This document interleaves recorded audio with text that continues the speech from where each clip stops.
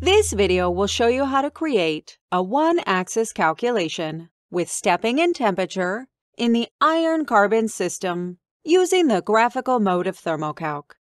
This type of calculation allows you to chart in what temperature ranges certain phases are stable. This is useful, for example, in designing processing windows for heat treatments. For instance, you might need to know in what temperature range there is a pure austenite phase in order to normalize or homogenize a material. In this example, we show you how to step in temperature for an iron-carbon composition and plot the resulting phase fractions. The calculation can be run by anyone with a license for Thermo-Calc, including the free educational package. The calculation is based on example T2 of the examples included in your software. However, this video will show you how to build the calculation so that you can customize it.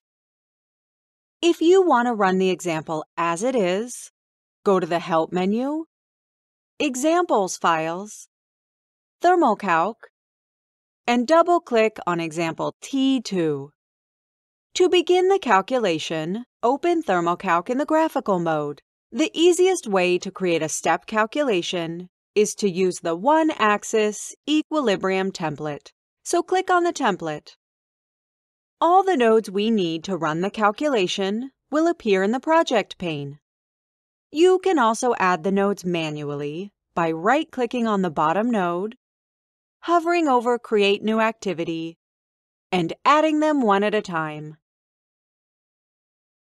Once you have your nodes, you must configure each one. Start by selecting the System Definer. Here, we'll select our database and elements. Click on the Database drop-down menu and select the FE-Demo database. If you're doing your own calculation, select the database you need. Next, select the elements iron and carbon. The system is now defined, so click on the Equilibrium Calculator 1 node to set the conditions. We need to set temperature, pressure, system size, and composition. Based on the example, the temperature will be varied between 500 and 2000 Kelvin. So we'll use the default of 1000 Kelvin here and set the range later. We'll also use the default values for pressure and system size. For the composition, we only need to set one element because the system size has been defined, making the other element dependent. Therefore, when we set carbon, iron will adjust automatically. We will set carbon to 0.1 weight percent, which automatically sets iron to 99.9 weight percent. Remember, you can change these values if you're working on your own calculation. You can also change the units for temperature, pressure, and so on. And you can change the composition unit. We also need to select our calculation type. Since we use the one-axis template, one axis is automatically selected, so we can leave it as it is. Set the range from 500 to 2000 Kelvin. You could also step in pressure, system size, and composition. Next, select the Plot Renderer node.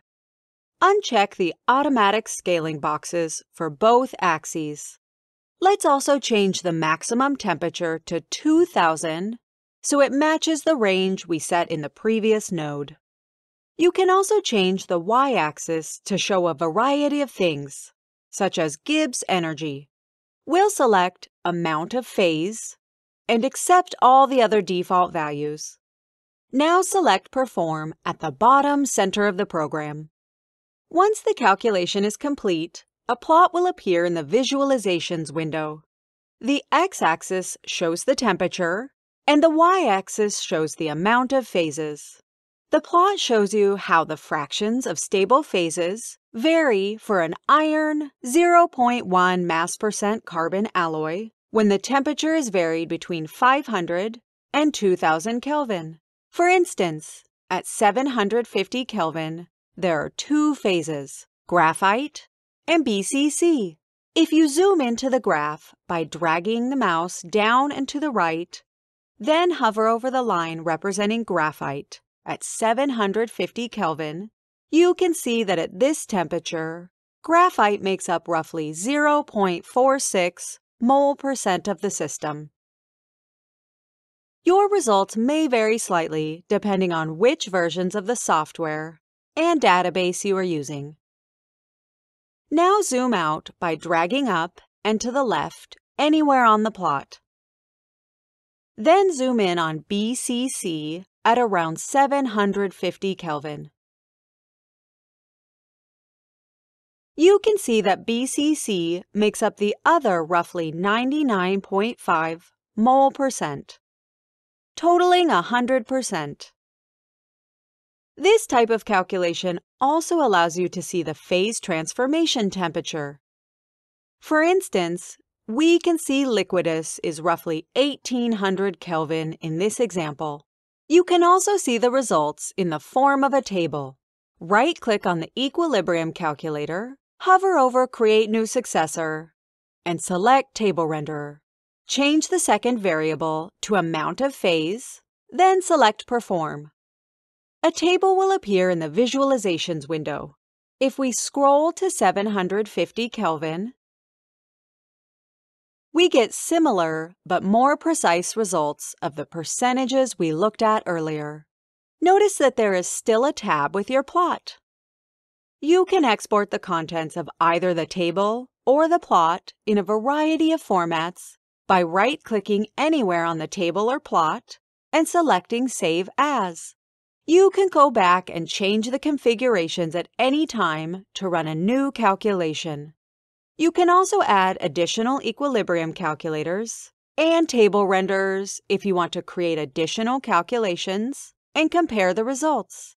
Each calculation will receive its own tab in the Visualizations window.